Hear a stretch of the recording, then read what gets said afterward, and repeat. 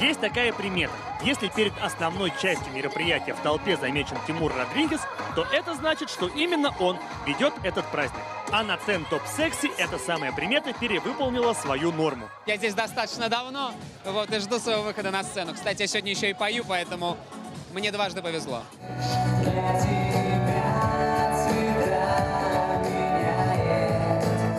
Соведущей Тимура стала несравненная и постоянно веселая Эвелина Блёденс. Привет, меня прет Давно? с рождения. А здесь прет больше или меньше? Ну что вы, здесь в воздухе витает секс, потому что здесь самые сексуальные люди страны. Такое настроение Эвелины, как и природу всей сексуальности, легко объяснить при помощи обыкновенной анатомии. Сексуальность – это феромон, это запах, который выделяется из затылочной части головы. Этот термин легко подтвердила Анфиса Чехова. Аль Пачино, он же не красавец. Или там этот, Жерар Депардье, но он очень сексуальный, на мой взгляд. Да, Челентано, это же вообще обезьяна, но такая сексуальная.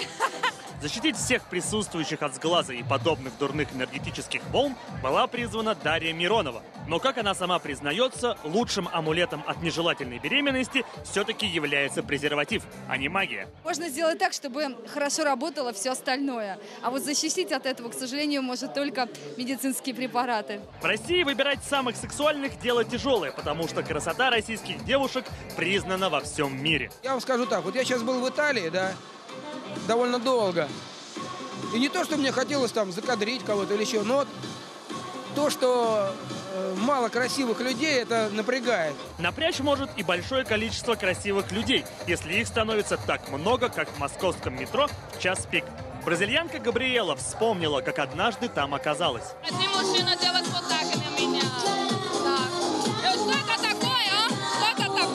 Там, где много сексуальных людей, там самое место ревности. Но в Российской Федерации есть те люди, к которым наши звезды не ревнуют. На Путина разрешу смотреть с вожделением. Вообще, друзья, И на Дмитрия Анатольевича. эмоции. Ладно Самое так уж. модное радио. А самыми сексуальными деятелями шоу-бизнеса была признана группа Чай вдвоем! и певица, Наталья! А те звезды, которые хотели бы стать самыми сексуальными деятелями шоу-бизнеса, но не стали, могут не отчаиваться. Премий в России очень много. Миша Осенин, Артем Ласточкин, Муз ТВ.